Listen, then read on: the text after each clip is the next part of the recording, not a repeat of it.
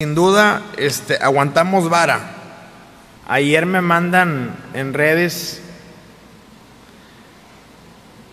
primero sin agua y ahora sin luz. Ahora, lamentablemente, también me llega porque no hay luz. Como si yo manejo CFE.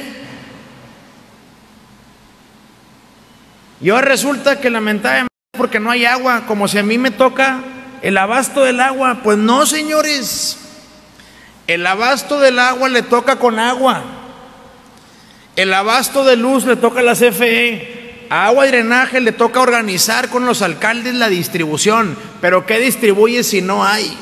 Bueno, pues ahora sí ya estuvo bueno, ¿no? Ya dejen en paz, por favor, a Samuelito. Samuel García solamente es el gobernador de Nuevo León. Ahora resulta que quiere la ciudadanía que resuelva el problema del agua. Si eso le toca solamente a Conagua. Ahora quieren que resuelva el problema de la electricidad porque no hay luz en Nuevo León. Bueno, pues eso le toca a la CFE.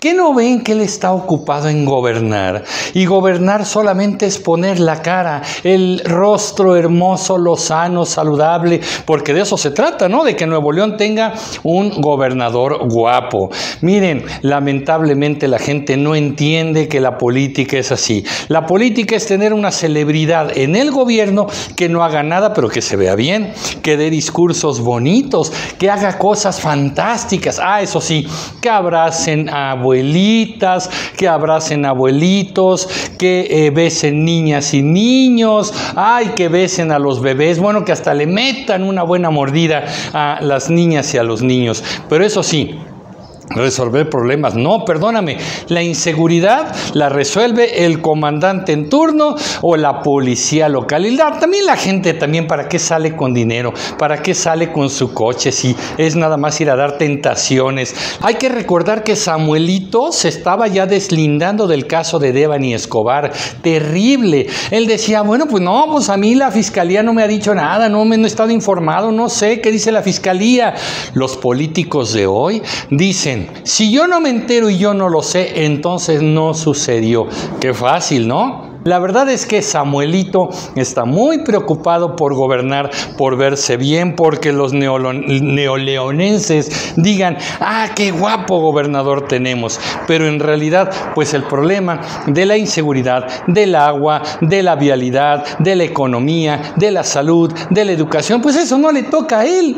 Eso le tocará pues quién sabe a quién, porque al parecer hoy ya está de moda que los gobernantes encuentren el pretexto perfecto para decir a mí no me toca. El clásico de Vicente Fox y yo por qué. Ese es el problema. Miren, ya había hecho yo unos videos en los cuales les decía el peligro de votar por personas con apellidos famosos, que porque es el hijo de Colosio o es el hijo del Tata Cárdenas. El chiste es de que la buena política es un oficio que se transmite por vía sanguínea y hereditaria. Y no es así. Y también se les dijo en Nuevo León que votar por Samuel García era votar por un influencer. Sí, tenía experiencia como diputado, pero la verdad es que no había hecho muchas cosas. Aquí yo les hice un video en el cual salió alarmando sobre temas, por ejemplo, de los impuestos y las tarjetas de crédito. Aquí lo hablamos y él salió con este asunto, que era un asunto también ya un poquito viejo, ¿sí? Bueno, y que nos quede bien claro que gobernar no es un tema de hacer histories en las redes sociales. Gobernar no es un tema de hacer publicaciones, eh, no es hacer los TikToks ni hacer Instagram. Gobernar tiene que ver con ser el titular del poder ejecutivo en un estado. ¿Para qué sirve un gobernador? Pues para eso, porque el gobernador es el titular del poder ejecutivo de la región, del Estado. Y él debe no solamente acatar la ley y hacer que se realicen los planes y programas del Estado, sino que desde luego ir negociando, ir corrigiendo. El gobernador, bueno, si es responsabilidad de Conagua, el gobernador va y negocia con Conagua. ¿Qué está pasando? ¿Qué hay que hacer? Hay que construir infraestructura, hay que abrir más canales, ¿qué tenemos que hacer? Para que llegue el agua. El problema es de CFE, pues no, señor, se va el gobernador a negociar con la CFE y dice, ¿qué, qué está pasando? A ver, ¿qué tenemos que resolver? ¿Por qué no está llegando la luz? ¿Qué está pasando con el abasto de la energía eléctrica? Eh, la inseguridad, bueno, todos, híjole, en el tema de la inseguridad es indignante porque todos se echan la bolita.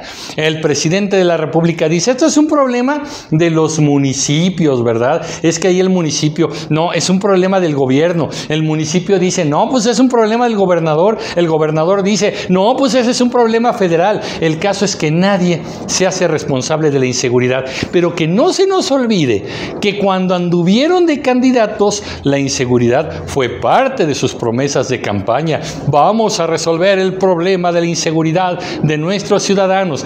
Ya cuando están ahí, ¿se acuerdan del de Michoacán? Pues hay que ponernos en manos de Dios porque está bien cañona la cosa. Iba a decir otra palabra.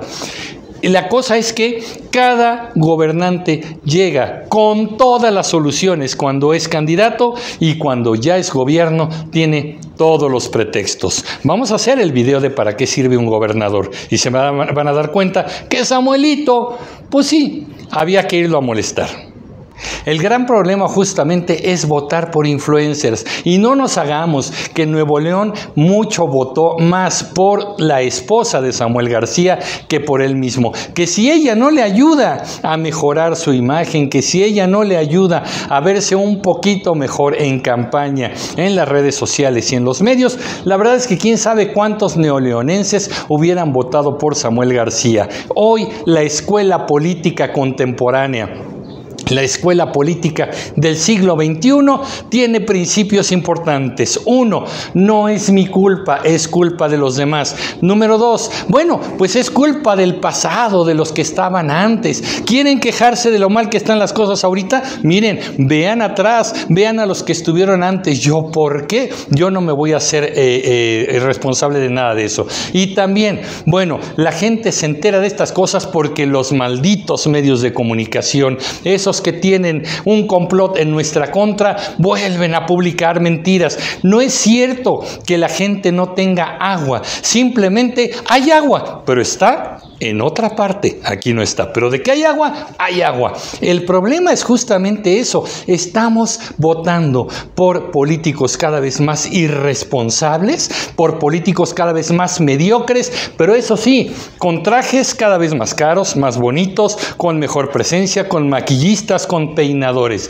Cuidado si vamos a votar por influencers. Cuidado si vamos a votar por gente que simplemente su oficio es hacer videos en TikTok, en redes sociales y videos en YouTube. Ahora, que si van a votar por alguien que hace videos en YouTube, pues ustedes díganme si yo me apunto y también yo voy a querer. Aprovechando el ejercicio, bueno, pues ya que andamos votando por youtubers, ¿qué puesto de gobierno, qué puesto público me darían a mí? Pónganlo en sus comentarios. Pero mientras tanto les digo, ya dejemos de votar por influencers y por personas que por carismáticas se merecen el gobierno.